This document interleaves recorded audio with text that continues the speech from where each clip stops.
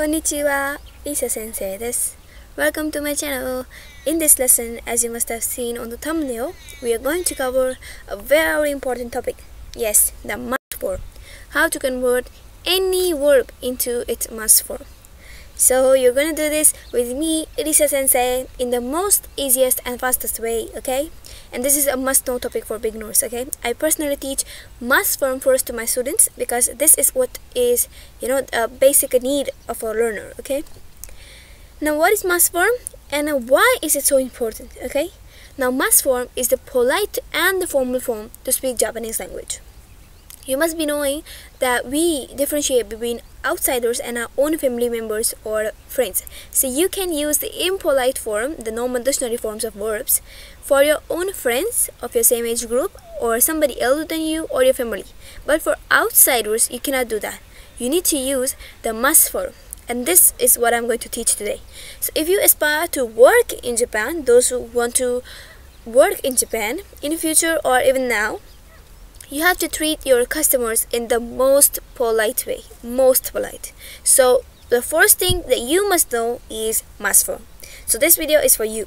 And you cannot use the ordinary informal way to welcome them or even talk to them okay? So you have to be very polite very careful that you not uh, unknowingly you may even uh, offend them by using the informal japanese. So you must not do that. So Verbs in the masu form are used to show politeness. For example, テレビとコンピューターがあります。so aru is the dictionary form, so we don't use that. But we use arimas, so it has mas at the end, that means it's a mas form. So without any delay, let's begin. And let me tell you, by the end of the lesson, you will be able to convert any verb into its polite mas form very easily. You will be able to understand a formal conversation in Japanese.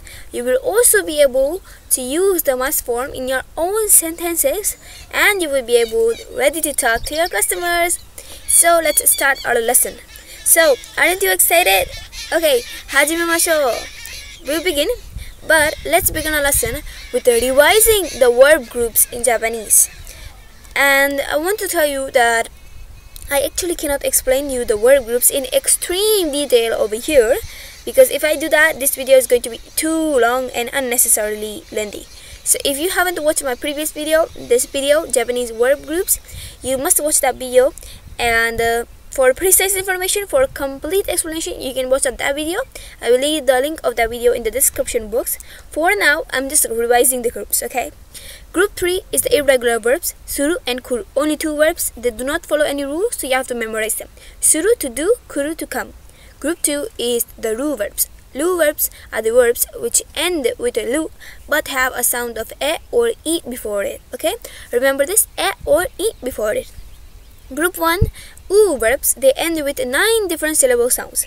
Utsuru, mubunu, kugutsu you will find these sounds these nine syllable sounds at the end of any verb. So that verb is going to the group is going to be the group one verb okay? U verbs okay. So masu form the polite way to speak japanese okay? So we'll begin with the rule for the group three the irregular verbs okay? For example as you see over here koppi suru koppi suru becomes koppi shimasu so as I said previously in my old video I've been saying this that they are exceptional cases. You will have to memorize it because they do not follow any kind of rule. So you can simply say suru will become shimas and kuru will become kimas. Okay, the polite form to say to do and to come. Okay, kimas, shimas. Okay, so copy suru, copy suru to copy will become copy shimas in the polite way. So Let's uh can you guess what would this be in a must form? 勉強する勉強する勉強する is to study.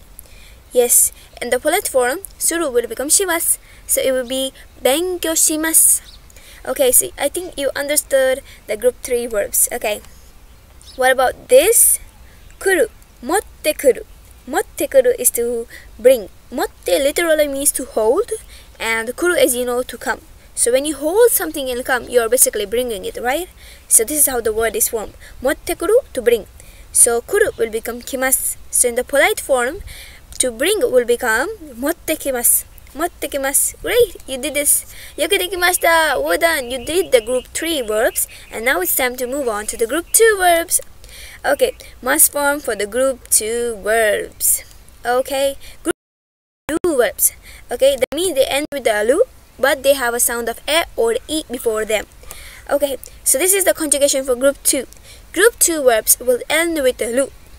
So all you have to do is remove lu and add mas. Simple? Most simple, I know this. Ru is going to get removed and you add mas. Taberu becomes tabemasu. Taberu, tabemasu. Miru, mimasu. Miru will become mimas. Miru is to see. Okay, miru. So, I hope you understood even the group 2. So let's look at this example. Taberu, as I said, tabemasu. Miru, mimas. Okay, now it's time for the group 1 verbs, the u verbs, and especially the most important verbs because most of the Japanese verbs belong to this category, okay? Here is a comparatively different than the other rests, okay?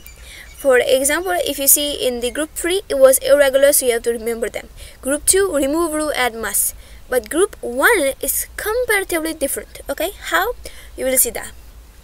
Hairu becomes hairimasu. Just look at this example. I'm going to explain, but first look at this example. Suaru becomes suarimasu. So hairu to enter becomes hairimasu.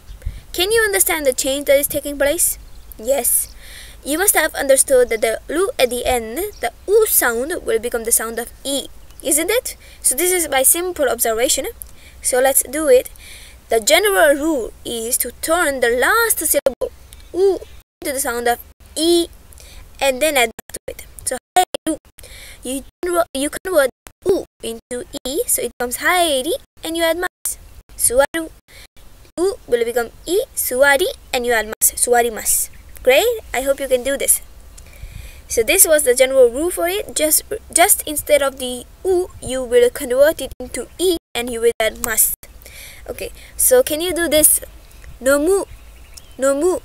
To convert the last u into it, e, it will become no mi, no mi, and you add mas. no mi mas. No mi mas is to drink. So let's move on to the second one, asobu. Asobu is to play. So it will be asobimas. Yes, ubu will become be. Kaku kakimas. Hanasu hanashimas. Great, you did this. So you can even frame your own sentences like to speak speak Japanese nihongo hanashimas in the polite form. Okay, write Japanese nihongo uh, kakimas. So simple, right? So buy, which is kau, will become kaimas. Toru Toru is only in the context of taking pictures, okay, mostly. Toru, the u at the end will become e and you add mas, torimas, torimas. So you understood the group 1 as well. You have covered all the masu form covers for all the group 3. So now you can take a chill pill okay so here's a recommendation. Do watch this video one more time to remember what all we did completely once and forever. In case if you feel it was a lot of information right? So don't forget to like my video share this subscribe to my channel comment below your suggestions because this is going to help me continue this do this work and motivate me to do more and more. So thank you for watching and don't forget to check out the verbs okay? The video which I recommended at the beginning the Japanese verb groups. So goodbye